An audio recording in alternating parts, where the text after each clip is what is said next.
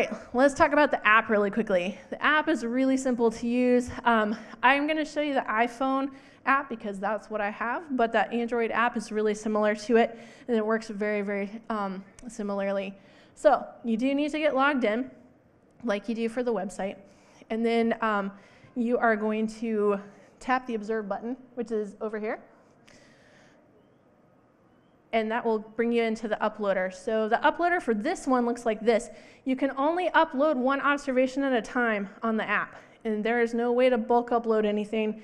So it's really great if you're out in the field and you want to go ahead and upload those sightings right when you're there. Um, there's reasons you might want to do that. Uh, one of the reasons is that this location will fill in automatically. Um, and so it's really easy to do these out in the field. But if you're taking pictures off your phone that you've taken earlier in the day, um, it's just a little bit more tricky because you've got to fill in all this information one by one. So you can see this picture of this little green anole up here. And you're going to go ahead and do the same kinds of things that we did on the website. So you need to type in what you think it is. I know this is a green anole. And so you'll type it in. You'll see the, um, the name up at the top. Go ahead and click on that. And then it will um, put the not sure where the species name went there. Normally it would pop up right there. Um, grab the wrong screenshot there. Um, so you'll have your, your picture, your uh, species name, whatever you happen to know for that species. Uh, you'll need to go ahead and put your location in. If you're using your phone and you have the GPS turned on, it will automatically tag your photo wherever you took it. And so this observation here, um, or this part of this uh, observation will be filled in automatically I personally don't like everyone knowing every single place I've ever taken a photo, so I turn that off on my phone. And so I do have to go in and choose the locations every time. Um, for this one, it's a little tricky because you can't search for a site. Uh, you can't search by address. You have to just scroll through the map to find the site that you were at. And so um, when I was at Blue Jay Point yesterday, um, that's a ways from my house. So I usually just tap on the little um, find me button down in the corner. And uh, this one here will take you to wherever you're standing at that particular moment. And then I follow the roads um, over to the park and um, tell it that I found it right outside of their education center there. It does involve a lot of pinching and zooming and sliding around to find your sites. And if you're at a place that you're not quite as familiar with and you're not exactly sure how you got there, it can be just a little tricky. Uh, again, it's putting this kind of box around it. This is as far as you can zoom in on the app, so you can't be super specific about where you saw things. Like I saw this anole like right here. Um, and so I could narrow it down a little bit more, but it won't let me on the app. But you can zoom in or zoom out as far as you need to to show the area that you found it in. All right. Um, the last thing I want to talk about here is the uh, geo-privacy option. Now, if you don't want every single person in the world who ever looks at iNaturalist to figure out exactly where you took the photo, you do have an option to hide that information a little bit. Um, if you say open here, everyone is going to be able to see the exact point that you um, took the picture.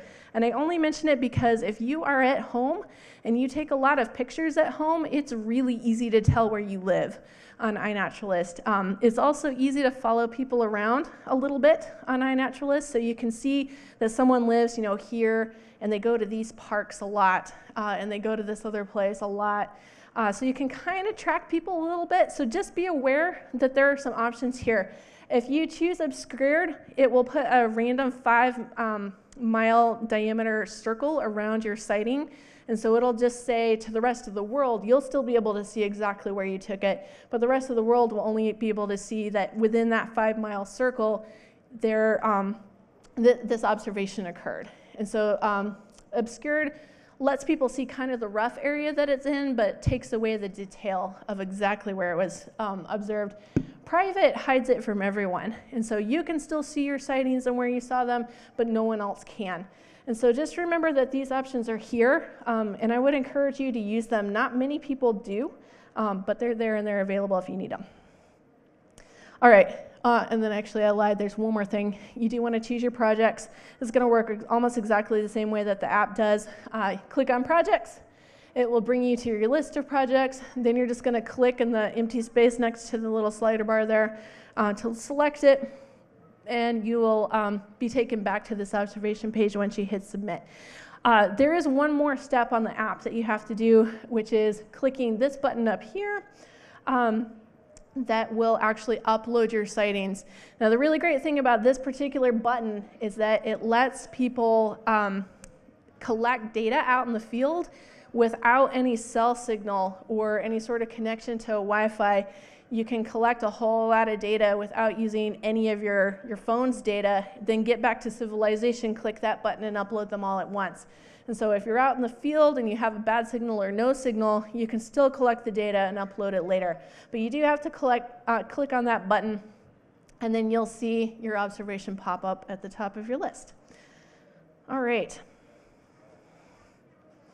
There are a few things you can do on iNaturalist that the um, app makes really easy. Uh, it will put these little um, conversation bubbles next to your observations. This says that someone either made a comment or they added an observation to your, your sighting. And so um, for this eastern tent caterpillar, this was another person that agreed with my identification on that particular um, species. And then this um, five, um, or five uh, box here. It's um, a couple of um, shared identifications and then a couple of comments about the photo that I took specifically uh, for that one. And so there's um, some ways you can talk to other people through the app by commenting on um, images, and the app makes it really easy to be able to see when you've got new, me new messages. Um, you can also help other people identify things. So if you know a lot about a group and you want to help other people learn more about that group, uh, you can click this Explore button, whoop, uh, and you can uh, look through by species, by area. There's a lot of different ways to search through the information and um, share the identifications that you know with people who might know less than you do.